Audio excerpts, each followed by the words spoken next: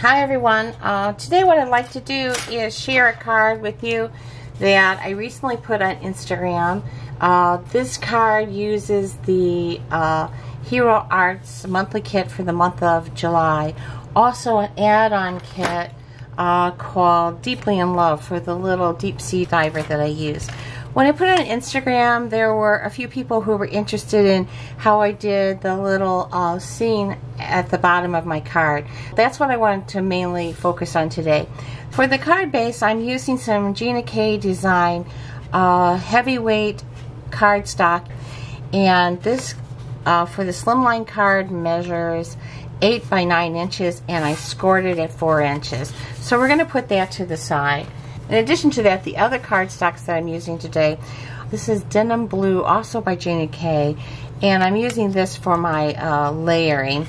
And I cut from uh, some Neenah White 90 pound cardstock, a panel that's three and a half by eight and a half and that's going to be our, the, the, panel that we work with.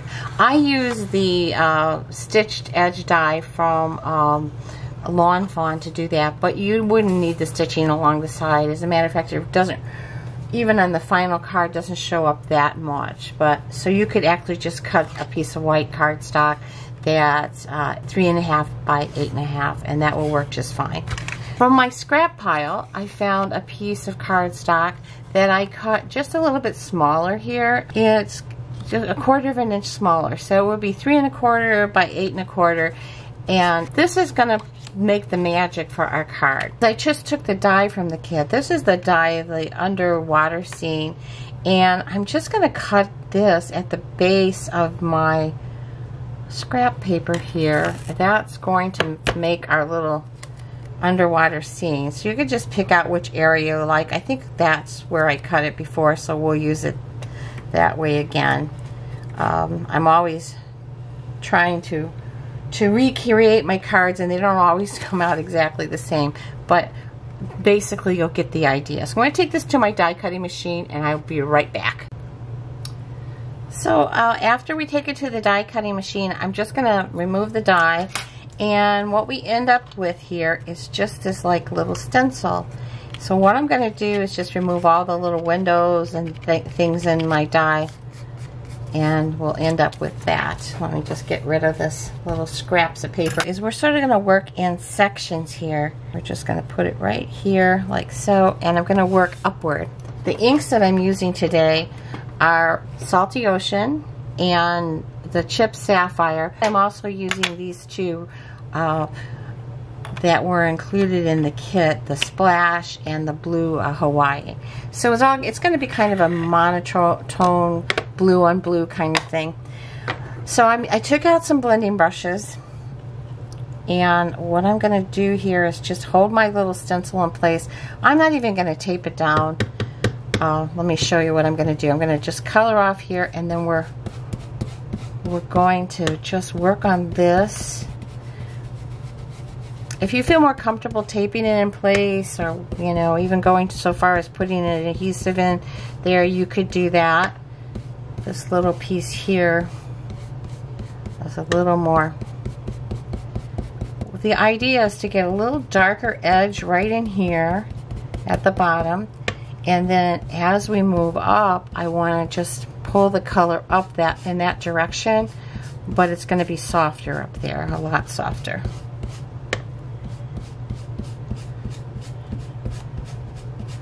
I sort of want to get the blue everywhere, but I want it soft here at the top.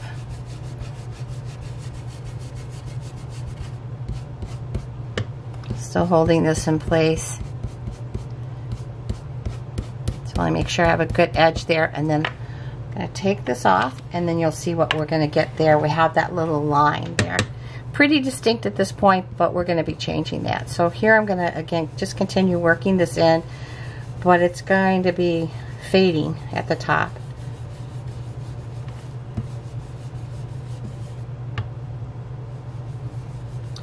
Don't just want to be careful not to get any harsh lines up there. Just to pretty much just using what's left on your brush to get that top portion. So there we go. That part is done. Now, for the lower part, what I'm going to do then is I'm going to match up my little fake stencil here with the bottom part of our design. Here I'm going to use the chip sapphire. And we're going to do the same thing on the bottom of this. We're going to just go right over the top of the windows and everything that are there already in the stencil and just going to go darker here at the top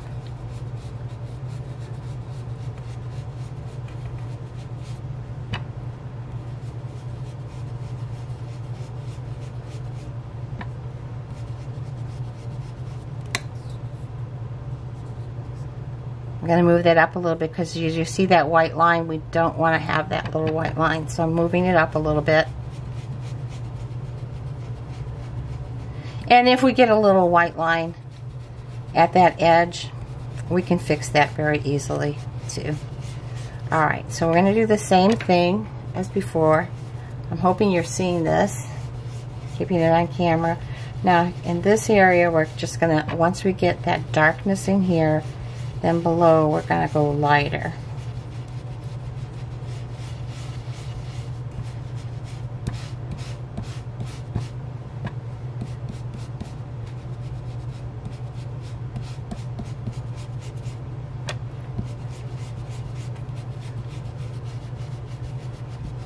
Not so dark though that we're going to cover up all those little windows. So there we go. You can see that now we have like this haunting kind of a line there.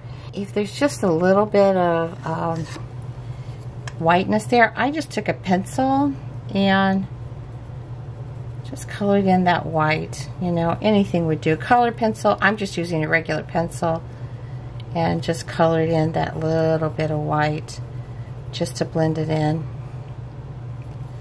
You probably could even use your of the first brush that you use just to go over to that edge.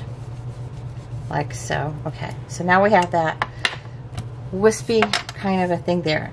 And then you're saying well, okay now below this we still have a lot of white area. But that's not to not to worry about that because that's where our stamping is going to go.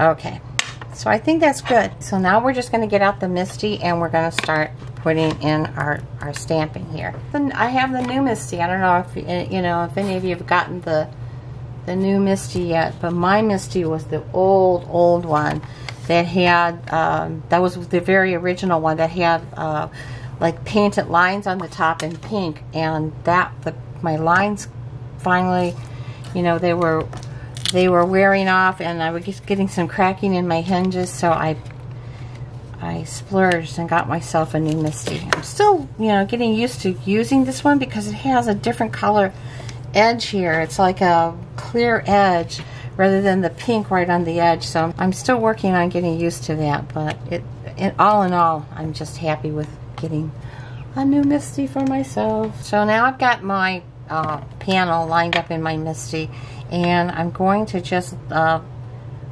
line up the first layer of the stamp where I would like it to be. And I think that looks like it's a good spot for it. So I'm going to line it up there. And for this I'm going to use the uh, splash ink that was included in the kit. So I'm going to ink this up really well.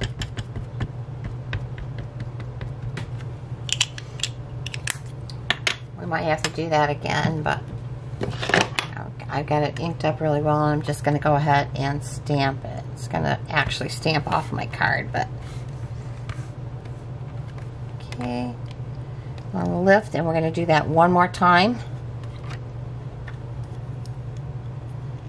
I'm just going to add ink where I can see that the card actually is this time. So we don't get too inky. And we're just going to apply it again. Second layer. And bring that out. I think I still want a little bit of ink right in this area of the stamp.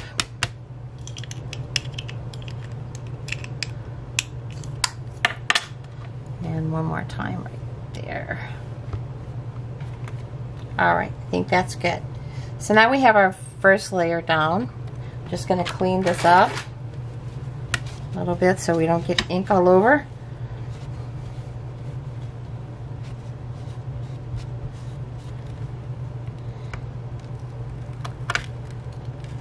And remove our first layer. I almost think that with these layering stamps, you have to sort of layer them and play with them one time just to see how exactly they work and how they go onto your card.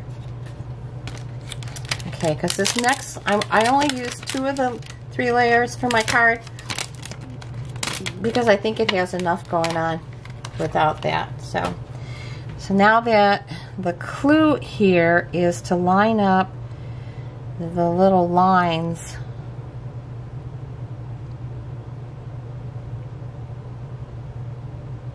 with your um, canyons.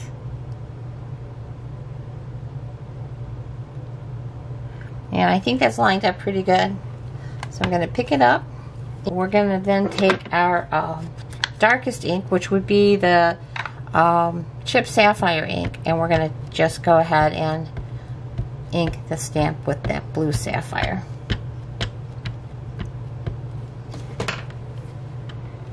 and take this over and give it a stamping here.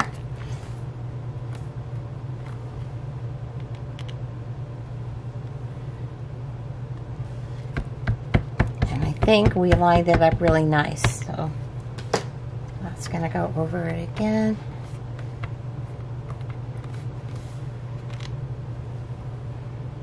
There we go.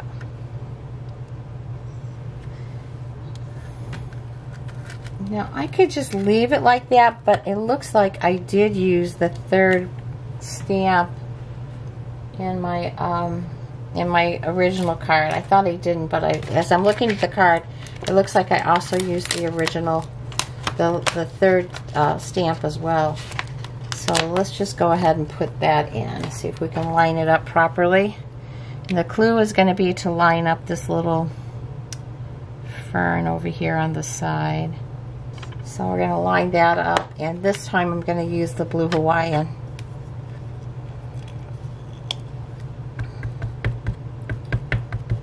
And let's just go ahead and throw that in and hope for the best here.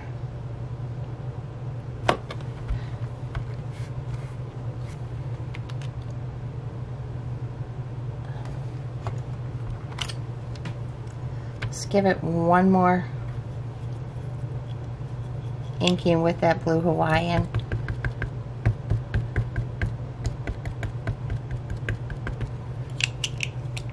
I was a little bit afraid because I thought I might have should should have done that black layer last, but you know what? It turned turned out pretty good. So there we go. So that's how we did our little scene on the bottom of the card. So you can see we have all the elements in there. You know, if that one spot here looks a little bit too light for you, you can always just take back your blending brush that had that dark sapphire on it and just come in and just take out a little bit of that whiteness in there. But I sort of like the, the, the illusion of depth that it gives with the different layers like so.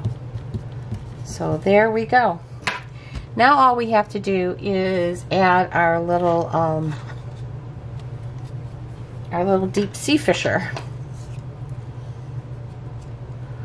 And I've already colored this one. Uh, let me just show you the colors that I used so that you you uh, you you know. I didn't use that many colors as you can see. What I used is the R24 for the uh, the little uh, shirt on the fella and I used uh, for inside his headgear. What do you call that? And his deep sea shield whatever I use some uh, BG000 and then for his little suit I used just uh, three of the my neutral uh, grays. So I used an N an N0, uh, N2, and an N4 to do that little guy. And that's all the colors I use. So we're going to put our uh, little guy back into the MISTI just to sort of get an idea of spacing and so forth, where we want him to go. And I think he's going to go right here. Also, I'm going to add some of the little fish. I think we're, uh, we're going to use the single, I don't know if this is a dolphin or a whale, but we're just going to put him right there in that space just to give a little interest down here. Actually, you could put two of them in there.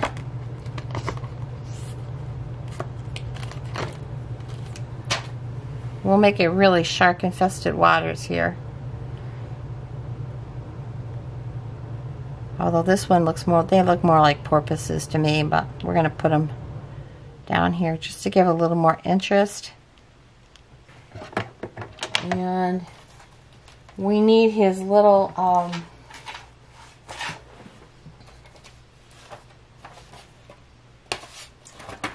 we need his little air hose. We just sort of want to get it so it's going to go like into him like that. And so that's where he's going to be. Let me just push, put this together here. And we can take him out. For the little dolphin, I'm going to use our, um, the dolphins, I'm going to use our darkest blue color. So I'm going to ink those up with some chip sapphire. I used um, some intense, or no, this is Hero Arts Intense Black. So I'm going to just use that for the, uh, the air holes. Let's get our little guy up. There we go. So that gives us even more interest down here in the lower, if you can see, more interest there. And we have these little air holes starting here. But I sort of wanted the air hose to look like it came up from the surface. So what I did here is I just added another curve.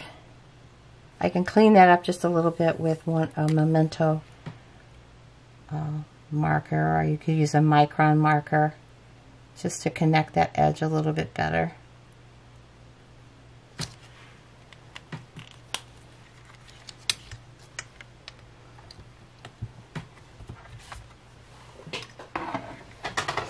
Looks like I went a little heavy on that, but I'm not a problem. I can just clean it up a little bit, like I said, with my memento marker here. So I'm just going to use some little foam squares to uh, attach my little um, deep sea diver to his spot on my card.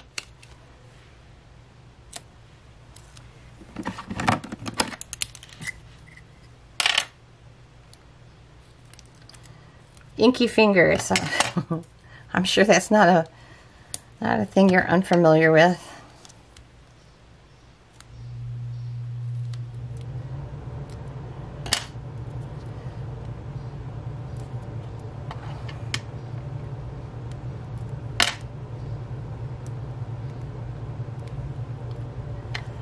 Okay, there's plenty of foam on the back here. We're going to just remove our little foam pieces.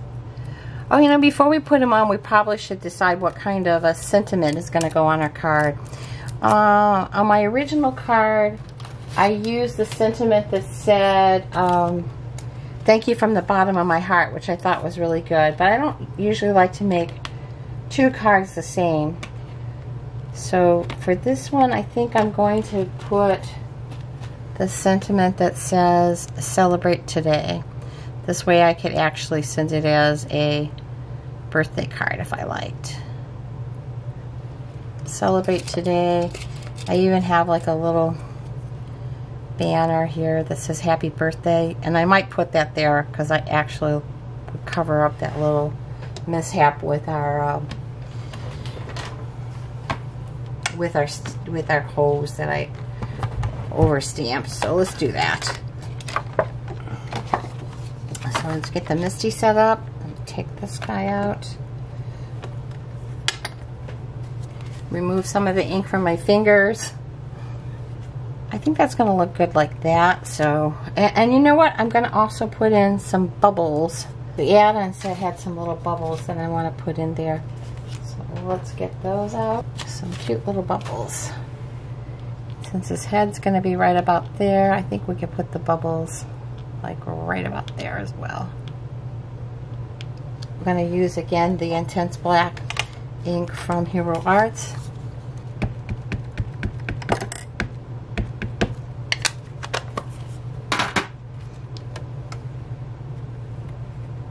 and stamp that in place.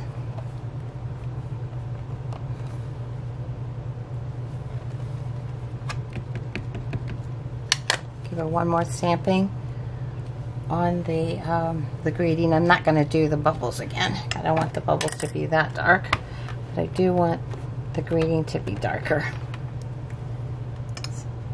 I think that's good. Do we need more bubbles? Hmm. Let's see. Before I take it out, do we need more bubbles?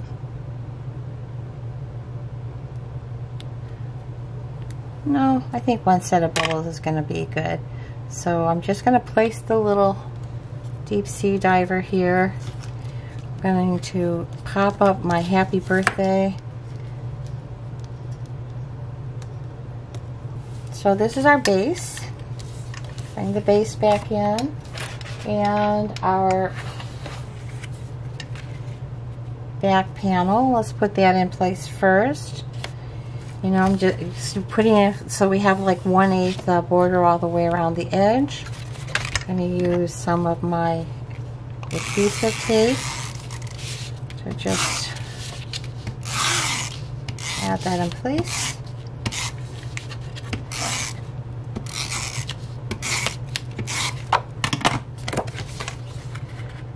I always do more adhesive than, I always think more is better. I'm always afraid that it's going to fall apart after I've done all the work on my card. Okay, so that's that. And we'll add some adhesive to this piece.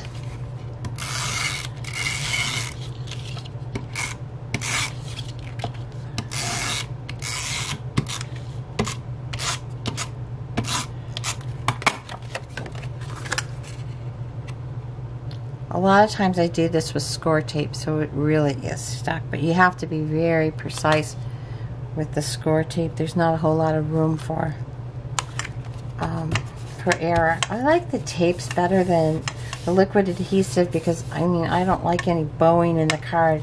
And sometimes the wetness of the adhesive will cause some bowing. And then we had decided that we're going to put Happy Birthday there too. Um, I have some black foam adhesive squares. That's going to look probably better with this little black banner. Oh, this little black banner, um, I had it in my stash already.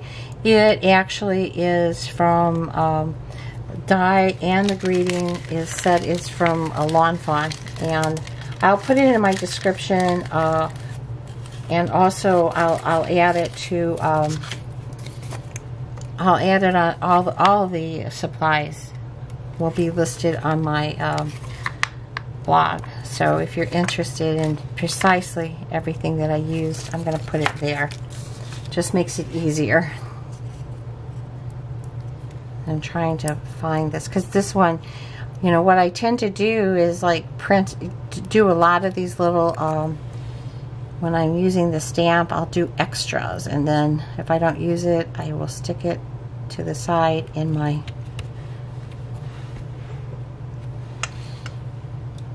in a little container and then when I need it I'm going to use it then. Then just as a finishing touch I'm going to take the glossy accents and put glossy accents in my bubbles. Now there's one overlapping bubble and so I'm going to have to come back after everything is dry to do that last bubble. And I'm going to try to remember that this adhesive is wet and not goof it up. so there you go. That's how I did the card. Um, I hope that, you know, um, this gives you some inspiration and uh, will help you to create something similar or better. anyway, thanks a lot for, for watching today, and I hope you'll come back. Uh, I plan on doing more videos in the future. And uh, for now, goodbye. If you like the video, please give it a thumbs up and subscribe and share and all those good things. Okay, I'll see you later. Thanks. Bye-bye.